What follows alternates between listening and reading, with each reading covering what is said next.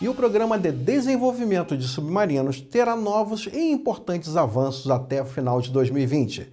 Para dezembro está prevista a cerimônia de integração das seções do submarino Toneleiro e o lançamento ao mar do submarino Humaitá.